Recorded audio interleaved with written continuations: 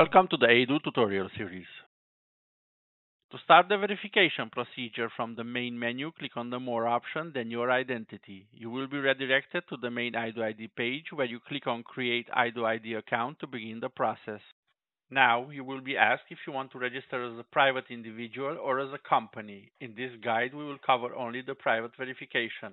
At first, you will be asked for some personal details, your full name, date of birth and nationality, and the email address you wish to register your account with. Please read carefully the terms and conditions and our privacy policy and hit I agree. Also, please confirm by clicking the checkbox that you are not a politically exposed person or a person from United States. This concludes the creation of your Eidoo ID account, and for the next step, you will have to check your email. A verification email will be sent to the registered address to verify and activate your account. You will need to confirm this before you can proceed with the verification.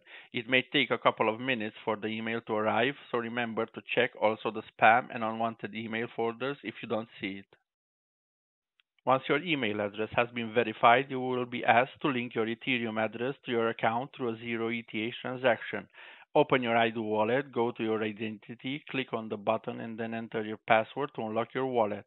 Once the transaction is confirmed, you will be able to proceed with your Tier 1 verification. At this point, the message Go to Desktop will appear. To continue with the registration, you need to connect to the Eidoo ID website from a computer that has a webcam and a Google Chrome browser installed. At the beginning of the procedure, you will have to specify your country and your current residential address. On confirmation, you will be asked to enter your mobile number to connect it to the account. Next, you will receive a verification code via SMS to be entered in the appropriate screen. If you did not receive any SMS, click on I have not received SMS to repeat the process.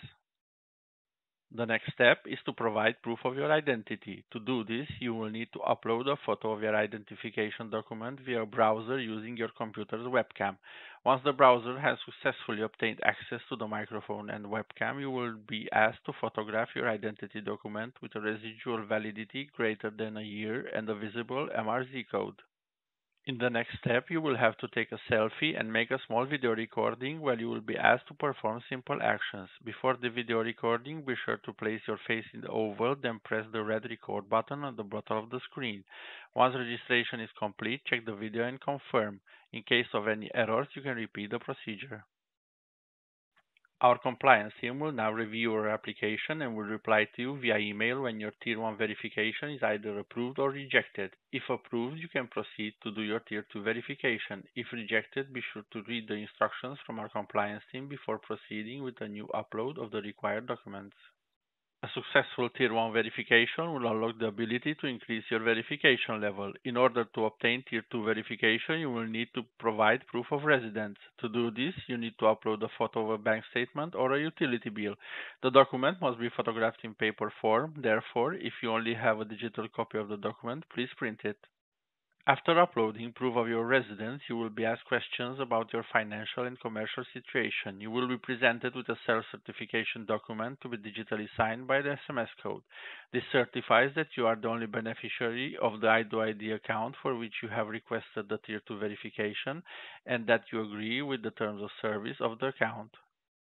Once your submission has been confirmed by SMS code, your request will be taken care of by our compliance team and you will receive an email from them either approving or refusing your verification. In case of refusal, be sure to read the instructions carefully before proceeding with a new upload of the requested documents.